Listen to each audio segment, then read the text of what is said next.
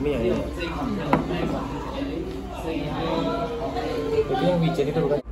Halo, assalamualaikum semuanya. Kembali lagi di channel Selimina Ulfa. Ini adalah video tentang jalan-jalan sambil kulineran, kulineran halal di daerah distrik Taan dan tepatnya di Cilong Road. Ini kita lagi mau makan ceritanya buka puasa. Jadi kita baru jalan sekitar setelah sholat maghrib dan memang bukanya itu jam 6 sore sampai jam 9 malam. Kalau pagi dia bukanya mulai dari jam 11.30 sampai jam 2.30.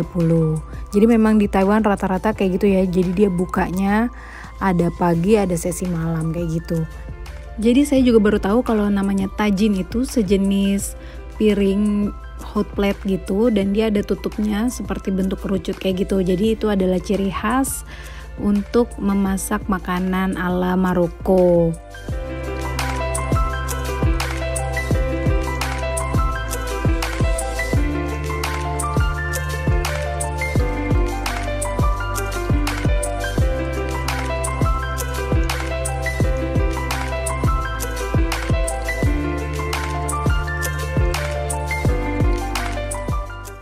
Dan kali ini saya akan pesan Marrakech cheese kofta dan lem tajin. Jadi yang pertama itu dia dari beef dan lemnya itu ya dari kambing. Untuk karbonya kita pilih saffron rice dan couscous. Jadi penasaran juga nih yang namanya couscous kayak gimana ini perdana saya bakalan nyobain. Untuk dessertnya kita pilih Moroccan Nuts Ice Cream atau es krim kacang. Ini pilihan menu-menunya ya, ada juga menu untuk vegetarian, ada juga yang seafoodnya, udang. Dan ini halal ya, jadinya nih ada tulisannya penjelasan. Tapi dalam bahasa Chongwon, jadi kita nggak ngerti. Ada juga set menu, jadi bisa lebih hemat kalau misalkan kalian datangnya banyak kan. Sup, ada juga berbagai jenis sup. Cuma kita karena memang mau iseng nyobain ini aja, takut nggak habis, jadi kita pesennya makanan besar itu aja.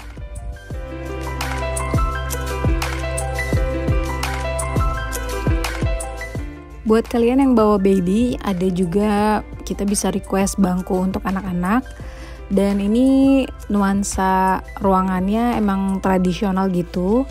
Dia dekorasi lumayan cozy juga. Ada artistiknya di tembok-temboknya jadi banyak lukisan-lukisan. Juga banyak juga foto-foto yang dipajang dan ornamen-ornamen khas Maroko kayak gitu.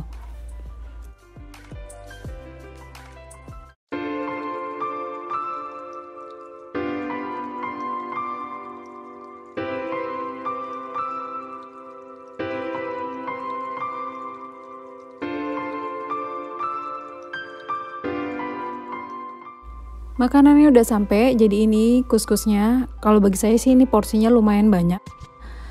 Ini penampakan yang lem tajinnya, ada kentang, kembang kol dan dagingnya. Ada kuahnya, kuahnya agak encer gitu. Jadi bukan kuah yang kental seperti kari.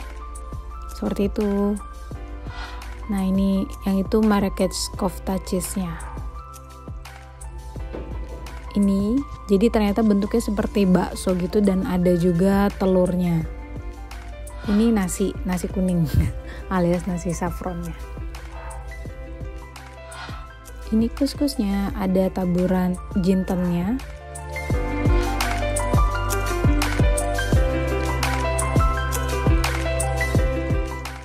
Jadi kalau nasi saffronnya itu cenderung plain jadi tidak tidak terlalu strong. Jadi memang warna kuning juga dari kunyit tapi juga aroma kunyitnya tidak terlalu berasa. Kuah dari yang lem tajin itu mirip kayak semur kalau bagi saya tapi dia memang karena ada cumin alias jinten jadi aromanya aroma khas timur tengah gitu. Ini dagingnya super empuk banget sih memang juara. Jadi kita effortless banget buat motongnya.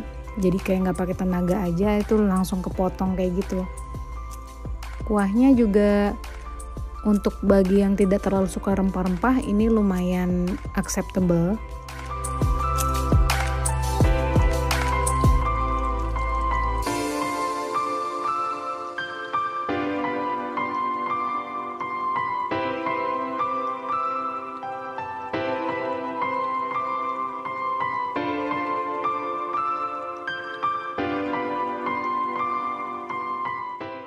Ini si es krim kacangnya, dia di serving pakai mangkok ukuran kecil. Kalau untuk anak-anak sih cukup ya, tapi kalau untuk orang dewasa mungkin kalian harus pesen dua atau tiga karena ukurannya ya lumayan mini.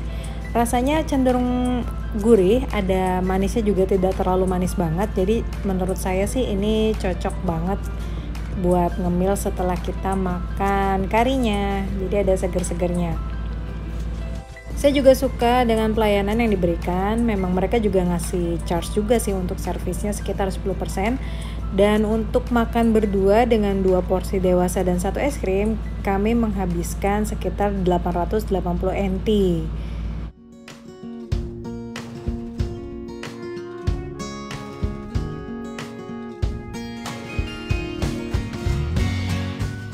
Itu dia barusan pengalaman kami waktu nyobain makanan ala Maroko di Tajin Moroccan Cuisine yang ada di Taipei. Semoga bisa ngebantu kalian buat gambaran kalau misalkan kalian lagi penasaran nyobain makanan-makanan halal yang ada di negeri Formosa ini. Nantikan video berikutnya. Semoga kita bisa terus jalan-jalan. Kalau misalkan kalian ada saran, silahkan tinggalkan di kolom komentar. Jangan lupa juga buat like, subscribe, Dengarkan juga podcast saya di channel ini. Juga ada di Spotify, silahkan cek di kotak deskripsi. Sampai ketemu di video selanjutnya. Assalamualaikum warahmatullahi wabarakatuh. Bye bye.